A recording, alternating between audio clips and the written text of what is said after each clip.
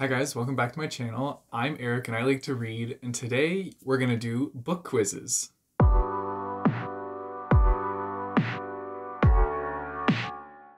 So I've seen a couple people do this where they take you along for the ride and do book quizzes together with you and so I thought it looked like a lot of fun and I'm gonna do it today. So I chose four different book quizzes from BuzzFeed that I'm going to try, and we will see what answers I get. And you guys can make fun of me if I don't know some of them, or yeah, you can just make fun of me if you want, because I feel like I'm going to get some pretty funny answers. Anyways, let's jump into it. So the first one I chose is called The Home Library You Build Will Reveal Your Autumn Aesthetic. Now I know it's not autumn, but I just kind of want to see what kind of home library I can build in this quiz. So I'm going to do it and hopefully it's fun. And I'm really curious to know what my autumn aesthetic is. So yeah, let's see. So our first question is choose an overall feel. And then it has these four pictures of your ideal like book setup. Now immediately the first one is drawing me into that one because it has like a window, a bay window seat, and I love bay window seats. So I don't even think I need to like think about it here. I'm gonna check the first one just because like that's so pretty to me. It also has a beautiful view, so I'm like, yeah, okay. So we're gonna choose that. All right, so the next one is choose a bookshelf material. Oh, okay, so we got like obviously wood for wooden bookshelves, but then we have like a marble, marble for bookshelves. I never really thought of that, but like if you can afford a marble bookshelf, then you be you and you go for it. I feel like that's a very rich person thing though, and I'm not a rich person. So there's wood, and then there's like a lighter wood and then a darker wood. Now all our bookshelves that we have are like the dark wood, although like the dark brown wood, the first option, I am really liking. And if I could have bookshelves like that, like homemade bookshelves made out of wood of that quality, then I would definitely choose that. But I mean, we wanted to get all matching bookshelves, so we chose like cheaper ones for the ones we actually own. But this is my ideal one, right? So I'm to choose the first one with the dark wood. Choose a bookshelf. Ooh, I like the stairs bookshelf. That's pretty cool. I'm I don't like the first one immediately. Like no, that's not it cuz that's just chaos. The second one is like a little bit too much like old library for me, and I'm not really a big f- like I like old libraries, but like I, I wouldn't want that in my house, if that makes sense. And then yeah, the third one just like seems like what I already have, just in like a black color. So I'm gonna choose the stairs one because that like that's intriguing to me. I like that. Choose some lighting. Ooh, okay, so we got the fairy lights, we got some basic lamps, we have a chandelier, which I don't know how good that is for lighting of a bookshelf. And then we got these really cool like metallic ones with the open shades. And I am personally a big fan of those. I think they look so nice. I don't know how they look around a bookshelf though. That's the question. The fairy lights would definitely light up the bookshelves a lot. I'm still going to choose the metal rimmed ones. I just like that style. Choose some comfy seating. Okay, this first couch looks like a literal sheep. so, I mean, it would be comfortable. I don't really, well, actually, this kind of chair, this like dark brown chair, is the type of chair that you know you'd like sit in it like sideways like this and have your feet up and like just chill. That's like, that's kind of what I did growing up because we had a chair like that, except it was obviously not as fancy looking. Um, I don't really like this one just because it doesn't look comfortable at all. And this one is very Victorian style, and I don't think that's like my style. so it's a toss up between the first two. Do I go for comfort or like seating geometry? I think I'm gonna go for comfort and just say the sheep one. Although if it's really like if you're really sweaty sitting on that, I think that would be really uncomfortable. Yeah, okay, we're going to go for this one here. Choose a statement wall. Oh. Okay, well, I don't really like any of these options, but I have to choose one. So, like, this one looks like fog. This one looks like Great Gatsby style. That one's just kind of like nice floral. And then that's just dark black panel. I think I'm gonna go with the flowery one because like I would want it to be like bright and I don't know, just like not dark and dooming when you're going to your bookshelves. I want you to like think of happy things. So yeah, I'm gonna choose the flowery one. Choose a genre for your shelves. Fantasy, romance, self-help, or mystery. Okay, well, self-help, nope, you're out the window. Romance, nope, you're out the window. So fantasy or mystery. I really like thrillers, but mystery is kind of like I don't know, it's kind of like thriller, but not full thriller. I'm gonna have to go with fantasy because fantasy is actually like one of my top three genres. Even though I I feel like I'm more of like a YA fantasy person, but I'm choosing it. And finally, choose an extra feature. Lots of blankets, a ladder, a spiral staircase, or bookends. Okay, well, bookends, like, no. You can get those easily. A ladder. Like, I think a ladder would be really cool, although I'm really tall, so I can reach the top shelf anyways. Blankets, I would always be down for blankets. But spiral staircase, like, how cool would that be to have a library with a spiral staircase? And I like spiral staircases. I've always wanted one, but, like, I never had a house that has spiral staircase. I'm choosing it. okay, so my autumn aesthetic is dark academia. Your ideal fall day would include rainy weather. That's true. I do love the rain. The smell of old books. I love smelling books. Strong coffee or tea. Yeah, that's very accurate. Moody candle lighting. Marcus makes fun of me for the amount of candles I have in this house. And shopping for vintage clothes. I mean, that one, not really, because like I barely buy clothes like regularly as is. I just wear the same stuff over and over again. But that is like pretty friggin' accurate. Yeah. Well, that was cool. For the next one, I chose which new book should you read over the long weekend? And it's not even a long weekend coming up. I just wanted to see what book it gave me because, yeah, I'm just interested to see what they think I should read based on how I answer this quiz. So the first question is choose a fandom. Ooh, it's got good options. Okay, so we have Sherlock, BTS, Marvel Cinematic Universe, Supernatural, Disney, or Liverpool. I feel like that's so random. Okay, so I'm definitely going to choose Marvel because I'm like a huge superhero nerd. So yeah, that's that's my choice for this one. Okay, choose a destination. Mexico, New Orleans, the Hamptons, Ghana, London, or Ireland. Well, I have not been to, I've only been to London and Ireland, but I loved Ireland. Ireland was beautiful, so nice. Um, I kind of want to try. Yeah, I think I'm gonna check Mexico though because that's somewhere that like I actually want to go visit. Like I want to go there. So yeah, I'm gonna say Mexico. Choose a TV show. Nancy Drew didn't even know that was a TV show. The Witcher was pretty good show. The Leftovers. Oh, The Haunting of Hill House was so creepy. If you haven't watched that show, definitely watch that show. Charmed or Insecure. I'm gonna choose The Haunting of Hill House because I episode eight scared the crap out of me. if you've watched that show, you know what part I'm talking about. I literally lifted off the couch because I was so scared. I it just wasn't I wasn't expecting it. Anyways, that's what I'm choosing. Okay, choose a job. Private investigator, lawyer, occult leader, software engineer, photographer, or line cook.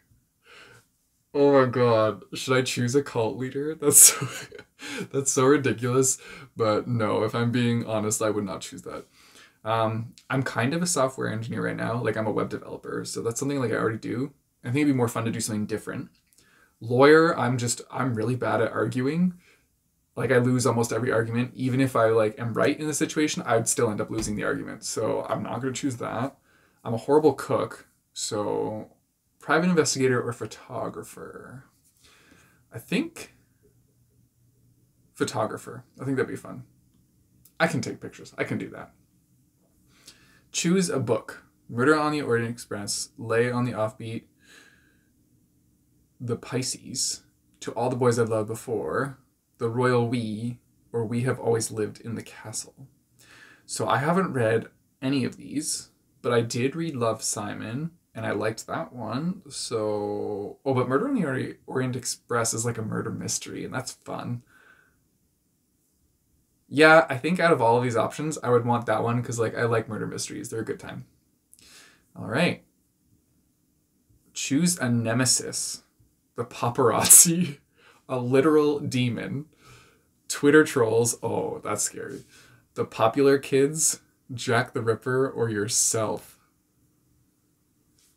Would I be a good nemesis to myself? That's a good question. Um, a literal demon would be a fun nemesis, though. I don't know. I'm to choose myself. I think that's funny. Okay, choose your ideal 4th of July plans. Taking a sound bath. What is a sound bath? Going dancing. Um, I once got kicked out of a bar for the way I was dancing, and I was sober. So, yeah, I'm a horrible dancer, guys. Takeout and weed. Catching up on work. Making art or chilling with friends. I'm to be very basic, and I'm just to say chilling with friends because that's like honestly what I would do. You got Mexican Gothic. so I read this book already and I gave it a two stars because I did not enjoy it. I thought it was not great. So yeah, I'm not even gonna read this the answer there. I just like that's basically the synopsis of the book, but I did not like this book, so I don't agree with this quiz. I don't. Have any of you read Mexican Gothic and what did you think about it? I don't know. It just like it wasn't for me, but I know a lot of people really liked it. So yeah, share your opinions in the comments down below. Okay, so if you can hear um, like wind, it's because my computer's heating up so much, so there's a lot of noise. But anyway, so this next quiz is it's finally time to find out if you are the main character. So I already know that I feel like I'm a side character, but let's see if this quiz tells me that I have main character energy.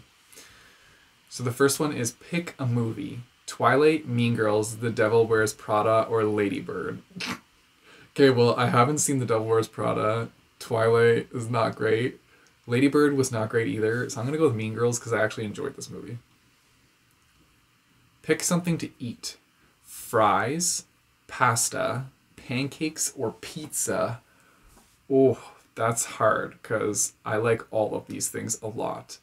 But if I had to choose any of them, it would definitely be pasta. Pick your dream vacation destination New York City, Paris, Madrid, or London. Well, I've been to Paris and I've been to London. I've never been to Madrid, but it's like it looks beautiful, and New York City also looks beautiful. Although I think that Madrid looks nicer, so I would choose Madrid. Pick a hobby. Reading books. Um, what do you think we do here? shopping, hanging out with friends, or traveling. Yeah, I'm to choose reading books. Pick a main character Blair Waldorf, Eleanor Shellstrop, Cristina Yang, or Fallon Carrington. Okay, well, as soon as I saw Cristina Yang, that was my choice. Pick a song. You Belong With Me by Taylor Swift, Sign of the Times by Harry Styles, Crazy in Love by Beyonce, or Levitating by Dua Lipa.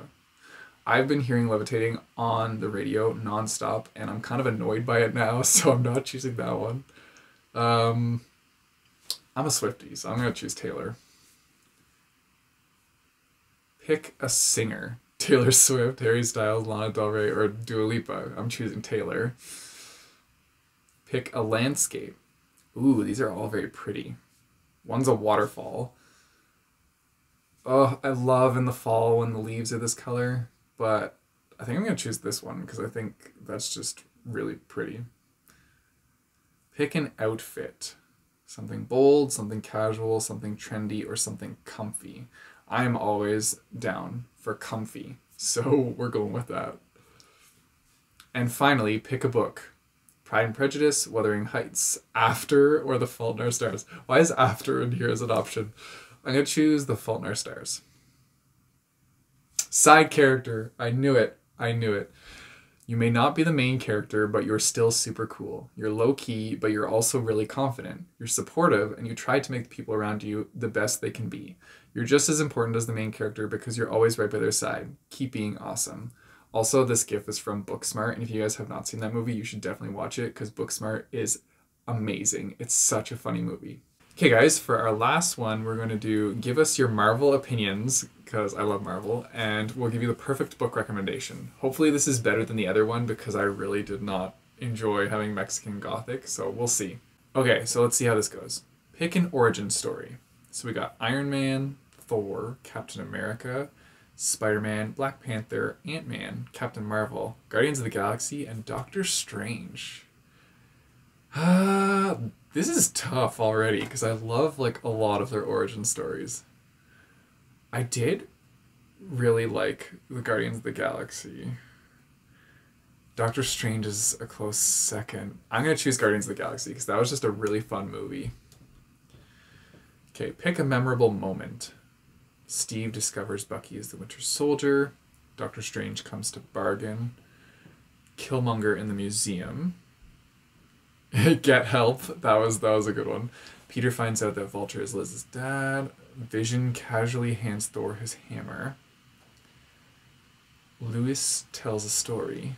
Nick Fury introduces himself to Tony Stark, or Captain Marvel stands. I think the Get Help is my favorite, so I'm gonna choose that one.